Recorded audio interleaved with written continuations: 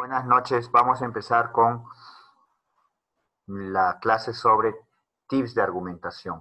Primero vamos a empezar con los tips de argumentación y luego vamos a pasar a explicar eh, la tarea de la semana que ha pasado y la tarea de la semana que viene, que sería la semana 10. Muy bien. Eh, ¿Cómo ordeno mis ideas para argumentar?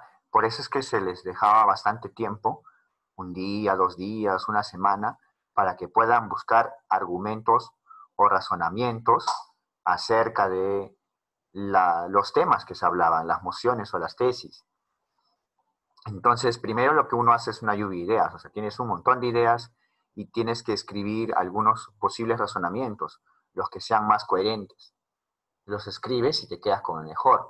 No es que de la nada aparezca el mejor argumento y, y rápidamente viene, ¿no? Es mejor que escribas varios, dos, tres argumentos en un borrador y si es que el profesor te pidió uno solo, pues te des cuenta cuál es el mejor o cuál es el más consistente o cuál es posible conseguir evidencias o pruebas. Dos, es mejor escoger las ideas que te parezcan más importantes o fáciles de explicar. Entonces, no es porque una idea, ah, la mayoría de mi salón se copió, la mayoría de mi salón este, ha puesto esa idea, yo voy a poner otra. Pero si no tiene coherencia, si no tiene sentido, como no es fácil de explicar, entonces es mejor poner un argumento que sí tenga estas características, características como tener coherencia y tener sentido. Después de ello ya se agregan los ejemplos y las pruebas o las evidencias, ¿no? Para saber si es verdad o no. Un segundo tip es cómo hacer más fuertes los argumentos. Entonces lo que te menciona acá, vamos a hacer participar a los estudiantes así como el día del Zoom. A ver, participantes. Somos siete. Mm, ya. A ver. Diego Rojas, en la imagen que estamos viendo, ¿cuál sería la afirmación? ¿Cuál sería la afirmación, Diego Rojas? En el ejemplo que se ve.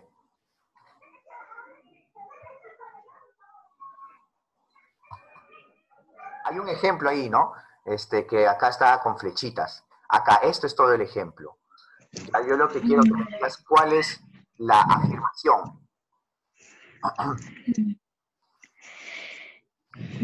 ¿De una nada más o de las tres? Ah, ¿tú ves tres afirmaciones? Ojo que nosotros ya habíamos dicho, eh, habíamos probado que en el modelo ARE hay afirmación, razonamientos y evidencia. Mi pregunta es, Diego Rojas, yo me, quiero que me digas de lo que estamos observando, ¿cuál es la afirmación? la afirmación es el derecho. A ver, léelo. Mm, Debemos respetar el derecho de un individuo a elegir vivir o morir. Ya, ¿tú crees que esa es la afirmación o ese es el razonamiento que sustenta una afirmación? Que sustenta una afirmación. Ya, entonces, ¿cuál es la afirmación, Diego Rojas? El derecho de un individuo. Claro, no. La eutanasia para pacientes terminales debería ser legalizada. Esa opinión es una afirmación, es una tesis. Recuerda, esto es la afirmación. En este caso hay tres argumentos, hay tres razonamientos. ¿Ya? Mm, ya. voy a seguir explicando ahora. Entonces, lo que se recomienda es que nosotros solamente al momento de debatir eh, presentemos dos o tres argumentos. No es mejor eh, aquel, aquel texto argumentativo que tiene 10 argumentos o 11, ¿no? Sino aquel que tiene dos o tres, pero que tiene suficientes evidencias. Tampoco es bueno hacer un, debate con solamente un argumento, porque si solo una idea sustentaba tu afirmación era fácil de refutar. Entonces, por lo menos si tenemos dos o tres, e, es, es mejor, ¿no? Recuerden que refutar es que otra persona ataque tu argumento, ¿sí? Mm, ya. Ahora, pasamos con el, tercer consejo, el tercer tip. Acá ya está más claro. Acá dice la afirmación, los impuestos a la riqueza deberían aprobarse. ¿Y cuál es el razonamiento o el argumento? Los impuestos pueden utilizarse para invertir salud, educación y programas sociales para los más desfavorecidos. O puedo decirlo con el porque, ¿no? Con el yaque. Estamos a favor de que los impuestos a la riqueza deberían aprobarse porque los impuestos pueden utilizarse para invertir en salud, educación y programas sociales para los más desfavorecidos. Entonces, fíjense, el razonamiento, que también se llama argumento, es breve. Solamente es una oración la mayoría de personas que estaban entregando la tarea y que no han entendido bien y que no han preguntado, han presentado la evidencia y han presentado una explicación de la evidencia o prueba. Entonces han, puesto todo, todos esos elementos que no se pidió en la tarea. Ahora les voy a explicar, después les voy a explicar la tarea anterior y la tarea de ahora. Pero más o menos, resumiendo, lo que hemos hecho por ahora es solamente trabajar afirmaciones y razonamientos. Todavía la semana que viene no vamos a trabajar las pruebas evidencias o la explicación de la prueba, hasta que se les haya explicado bien cómo hacerlo. ¿sí? Muy bien. Siguiente. La afirmación. Los cigarrillos deberían prohibirse. Razonamiento. Los componentes de los cigarrillos producen enfermedades como el cáncer a las personas que lo consumen. Ya, ese es el argumento. Eh, preguntaría Yadira Guamán. Una pregunta, ¿este razonamiento o argumento es a favor o en contra? A ver si te fijas. Este razonamiento... Es en contra. Es en contra. A ver, mira, la afirmación es, los cigarros deberían prohibirse. Si el argumento es en contra o el razonamiento es en contra, pues estamos en contra de que los cigarrillos deberían prohibirse porque los componentes de los cigarrillos producen enfermedades como el cáncer a las personas que lo consumen. Está en contra. Es un argumento a favor. Es a favor, ¿sí o no? ¿Ya? Entonces, eh, se cuenta cuándo es a favor, cuándo es en contra. Por eso es que la mayoría ha hecho mala tarea. Porque cuando eh, nosotros hemos pedido, los docentes de comunicación, argumento a favor, y después el día miércoles argumento en contra, no lo tenían claro. ¿Sí? Muy bien. Entonces, ahora, una prueba de este argumento, pero este argumento de razonamiento, ojo, está a favor, a favor de que se prohíba. La Organización Mundial de Salud dice que cada año mueren 8 millones de personas por enfermedades causadas por los cigarros. Ahora, para que tu argumento sea más fuerte, es importante que digas, o es fundamental que digas, es importante porque se afecta a la salud de las personas y este es un derecho básico para poder desarrollarnos. O sea que le des importancia o relevancia a tu prueba y a tu razonamiento. Pero eso es cuando ya sea un, debate o sea un texto argumentativo completo. Lo que nosotros estamos haciendo es un texto argumentativo, pero por partes. Solamente afirmación, solamente razonamiento. Muy bien, entonces hasta ahí hemos terminado esta parte, vamos con la parte práctica. En esta parte práctica voy a, a, dejar eh, o voy a mostrar la tarea de la semana anterior y la tarea de esta semana, la que viene, que supongo que es el día lunes, ¿no? Porque a veces se la aprende en casa, se modifica. La semana 9, eh, primero te pedía un argumento a favor de que los médicos y enfermeras deben retirarse del servicio en tiempos de pandemia.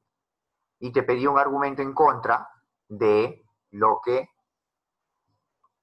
un argumento en contra de lo que es la culpa de los desastres naturales lo tienen los países que contaminan mucho. Mm, y el día, el día jueves se pidió lo, lo, inverso. Entonces, al final, si tú haces un resumen de lo que se pidió el día lunes el día jueves, tienes este modelo. Y este modelo yo lo he estado compartiendo en los grupos de WhatsApp y también lo voy a compartir en el grupo Zoom.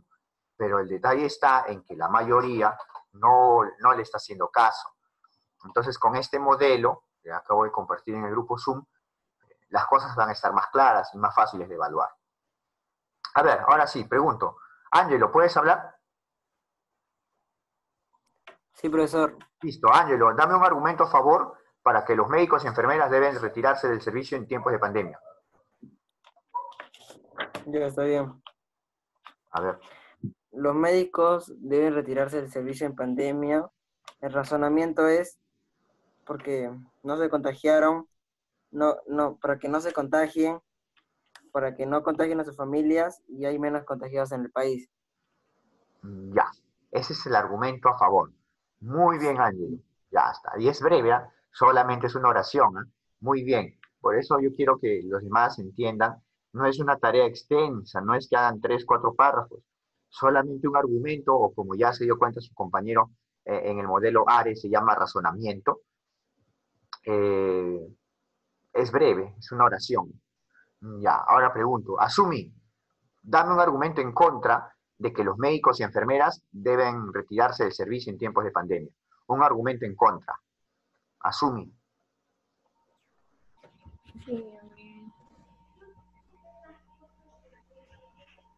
¿Un argumento en contra? Sí, esa es la tarea que se dejó el día jueves. Un argumento en contra de que los médicos y enfermeras deben retirarse del servicio en tiempos de pandemia. A ver. Ya. No estoy de acuerdo que los médicos y los enfermeros se retiren porque se ve que afuera de los hospitales hay cola y en la cola hay personas que están muriendo y, por eso se necesitan de los médicos y enfermeras para que los atiendan, ¿sí? Sí. Ya, eso agrégale para que quede mejorcito, ¿ya? Muy bien así, ¿ya? Perfecto. Y antes así, ya tienen su, ya tenían la tarea anterior, ¿ah? Muy bien. Entonces sí, estamos entendiendo. Ya. A ver, ahora, eh, sobre la otra moción o la otra afirmación. O el otro tema. La culpa de los desastres naturales la tienen los países que contaminan mucho. Acá la mayoría se ha confundido. Entonces, vuelvo a repetir para que lo lean y lo entiendan bien. O sea, la culpa de los desastres naturales la tienen los países que contaminan mucho. O sea, los países que contaminan mucho tienen la culpa de los desastres naturales. Ya, así, así es. El argumento a favor, pues lo que tiene que hacer es echarle la culpa. Y el argumento en contra, lo que va a hacer es no echarle la culpa a los países que contaminan mucho, no echarle la culpa de los desastres naturales. Pero el error que yo estoy viendo en la mayoría de tareas, sobre todo en este tema, es que se centran o se salen del tema y no me explican o no ponen el punto de la culpa. ¿Por qué los países no tienen la culpa de los desastres naturales? ¿O por qué los países sí tienen la culpa de los desastres naturales? Obviamente, pues decimos que esos países contaminan mucho, pero acá el centro, más que contaminan, el centro es sobre la culpa de los desastres naturales. Ya, esto es un poquito más difícil, ¿ah? así que si alguien se equivoca, normal. A ver, Corina Ramos, ¿puedes hablar? Profesor. Sí, buenas tardes. A ver, dame un ejemplo de un argumento a favor de la culpa de los desastres naturales, la tienen los países que contaminan mucho. A ver, vamos. Un argumento a favor. Sí, es lo que se pidió el día jueves, ajá. Ah, bueno, justo, ah, bueno, ok. A ver, a ver, eh, pues, no, no hay problema, eh, eh, sí estaba un poquito más difícil. ¿ah? No, estaba, cuando estaba lo haciendo tenía un pequeño inconveniente porque no podía, o sea, la primera parte ya lo estaba terminando, pero justo en esa parte no, no podía, o sea, me había quedado ahí. Ya, no, no hay problema, estamos para aprender. Ya, ya, Corina, gracias. Ya, a ver, eh, Yadira, a ver, dame un argumento a favor, por favor. Bueno, profesor, muchas veces los países hacen bastantes cosas bonitas, o sea, hacen obras que benefician a las personas, pero se olvidan del ambiente y no, y por eso muchas veces los países tienen culpa, tienen la culpa de contaminar el medio ambiente. No, pero no estamos hablando de la culpa de contaminar. Yadira, estamos hablando de la culpa de los desastres naturales. Ah, eso hay que observar. O sea, acá es la culpa, pero ¿culpa de qué? ¿De la contaminación? No, es la culpa de los desastres naturales. O sea, básicamente es decir, estos países originan los desastres naturales. Ah, ya, me daba cuenta entonces que en este tema eh, hay, que, hay que clarificar las cosas. A ver, continuamos. Eh, o voluntarios, o a ver, este, vamos con Kiara Landauro, ¿puedes darme un argumento a favor de la culpa de los desastres naturales? Kiara Landauro. Ya, Kiara. A ver, Diego Rojas, ¿tú puedes darme un argumento a favor? Ya. Ya, a ver, mira, a favor de que los países que contaminan tienen la culpa, pero ¿culpa de qué? De los desastres naturales. Y ahora sí te escucho. Ya. Gracias a esos países que contaminan mucho por quemar basura, el calentamiento, el calentamiento global está grave y otras personas sufren por culpa de ellos. Ya. Entonces, básicamente lo que tú me dices es, estos países que contaminan mucho eh, originan el calentamiento global. Y el calentamiento global es una de las causas de los desastres naturales que afectan a todo el mundo o a todas las personas. ¿Sí? Sí, sí, Ya, así ordénalo, ya así como te he dicho. ¿Ya, Diego? Muy bien, ah, así, así como te he dicho. Un poquito más claro está en esa, en esa forma que te he dicho. O sea que los países que contaminan mucho, eh, eh, producto de su contaminación, originan el calentamiento global y el calentamiento global es el culpable o principal culpable de los desastres naturales que afectan a todas las personas. ¿Ya ves? Ya está. Ahora sí viene la parte más difícil, porque cuando dice que el argumento es en contra, es que ya no le echamos la culpa. Básicamente es como que vamos a defender a estos países que contaminan. Pero no es defender a los países que contaminan diciendo, estos países que contaminan dan plata, estos países que contaminan ayudan a otros. No, es estar en contra de echarle la culpa. ¿Pero la culpa de qué? De los desastres naturales. Entonces, un voluntario, porque ese, ese está un poquito más difícil, ¿ah? Entonces, si de repente llamo a alguien, eh, eh, ya, a ver, Diego Rojas, el último, ahora sí, a, a los demás les pregunto el 10. Vamos, dame un argumento en contra de la culpa de los desastres naturales, la tienen los países que contaminan mucho. A ver, No es culpa de esos países porque los desastres naturales son algo natural, como su nombre lo dice. No siempre se sabe o se calcula, es algo que nació con la tierra. por lo tanto, no se le puede echar la culpa a los países que contaminan. ¿Sí? Sí, Ya, hasta redondea la idea, ¿ya? Muy bien, Diego. O sea, lo que has dicho está bien, pero siempre es bueno redondear la idea para que aquella persona, aquella persona que lea o que escuche lo entienda claro, ¿ya? Muy bien, Ya. Diego. Ya, hasta ahora sí. Ahora vamos con la tarea que yo voy a dejar el día lunes o cuando nos toque, según aprendo en casa. Esta es la tarea que yo voy a dejar. La voy a dejar completa. Ya no la voy a dejar por partes como hice en la semana 9. Ya, esta es la tarea. Pueden tomarle foto o de repente lo dejo un rato ahí. O sea, esta es la tarea tal cual yo voy a pegar en los grupos de WhatsApp. ¿Ya? Ahora sí, a ver, pero vamos a ir practicando ya en forma oral. Entonces ya ustedes que se han dado su tiempo de participar en este Zoom, tienen la tarea en forma adelantada y también eh, vamos a ir ensayando posibles respuestas, ¿no?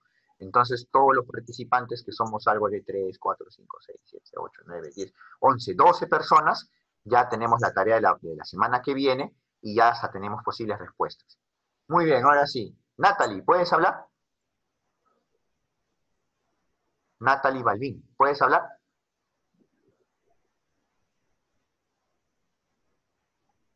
Natalie.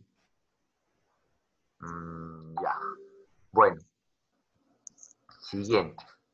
Ah, Edith Cueva, ¿puedes hablar o participar? Edith Cueva. Profesor, ¿me escucha? Sí, ahora sí. A ver, mira, primero te explico en, en qué consiste la moción y una vez que te expliqué, tú me dices el argumento a favor, ¿ya? Ok. Ya, listo. A ver, mira. La moción o la afirmación dice, el gobierno debe dar dinero a las empresas para que no cierren. Y estas empresas dan trabajo a las personas, ¿no? Para que no cierren y haya más trabajo.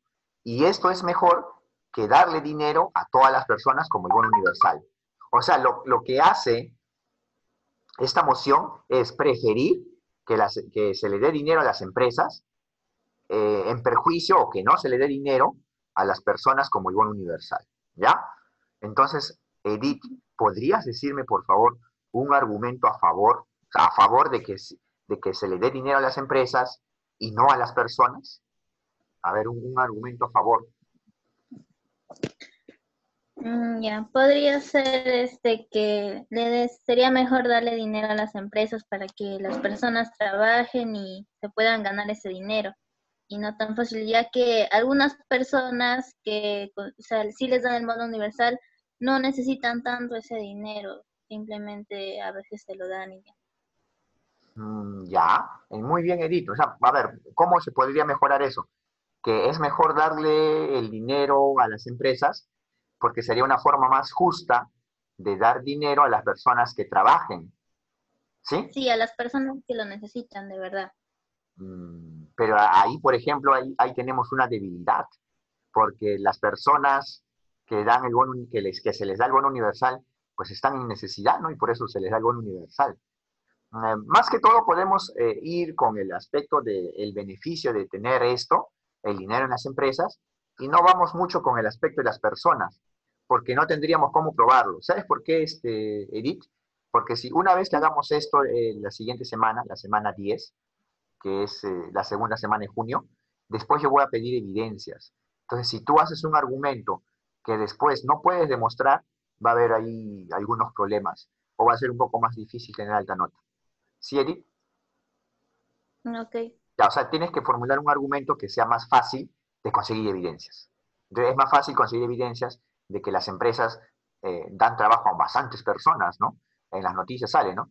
Eh, por falta de eh, dinero, las empresas cierran y hay 40.000 desempleados. Entonces tú dices, si se le da dinero a estas empresas, 40.000 personas trabajarían. Y sería justo porque estas personas trabajan y sí se merecen el dinero porque trabajan. Algo así es tu idea, ¿no, Edith?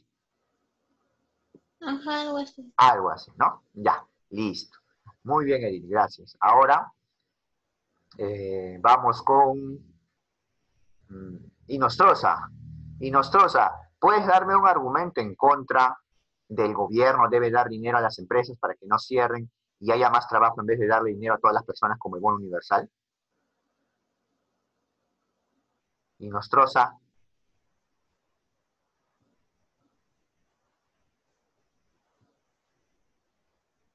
Inostrosa, ¿puedes participar? Mm, ya, bueno. Gilardino, a ver, por favor, dame un argumento en contra. A ver, Gilardino, Rosillo.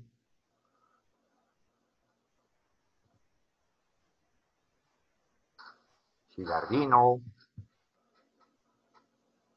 Mm, ya. Bueno, Profesor, a ver, ¿yo podría darle un argumento? en contra. O sea, en contra significaría que no le des a las empresas y sí le des a las personas. ¿Sí? Ya, listo, a ver, vamos, empieza. Bueno, yo miré, yo en mi argumento yo pondría esto. Yo creo que el gobierno no le debería dar el dinero a las empresas, porque si es que le da dinero a las empresas y le dan trabajo a las personas, podría generar mucho más contagio. Y aparte, en muchos, en muchos casos, las empresas, bueno, los propietarios se han agarrado el dinero por beneficio propio y no se lo han dado a las personas.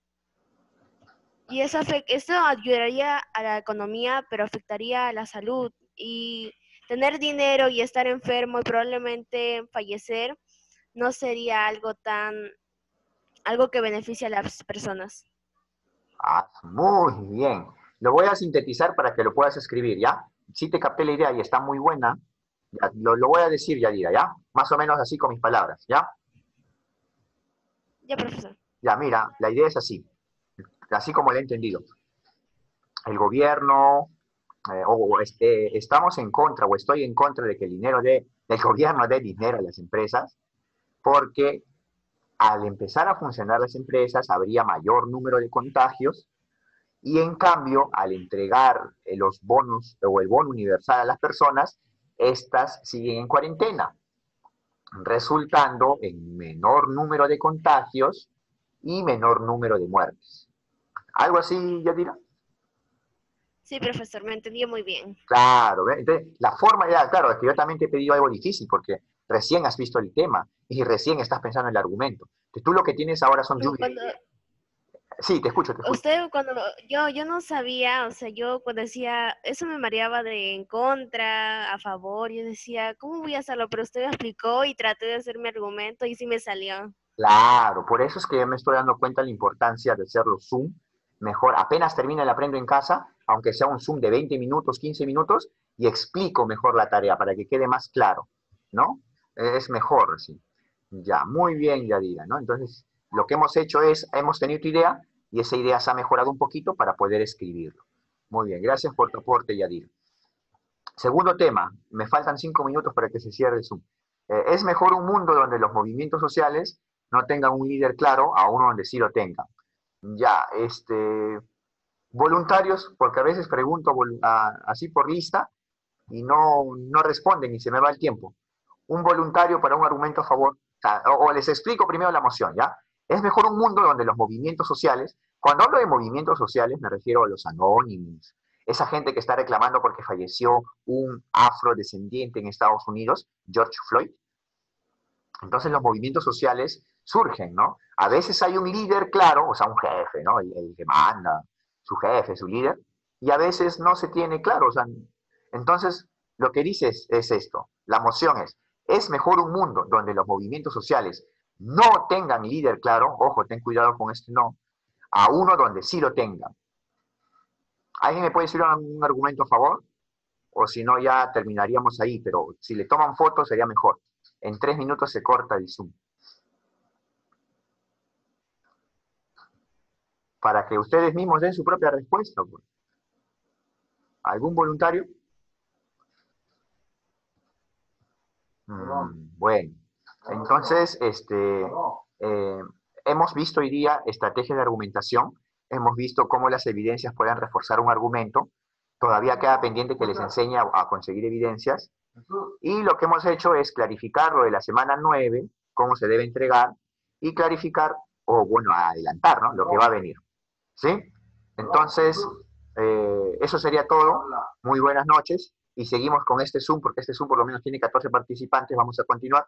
Pero también vamos a hacer Zoom breves después de Aprende en Casa. ¿Sí? Es voluntario. Eh, al final, el aprendizaje es opcional, es, voluntario, no, no es que tenga mayor nota el que asista o no, pero si se dan cuenta la ventaja de tener una buena explicación es que entregas buenas tareas y aprendes más, ¿no?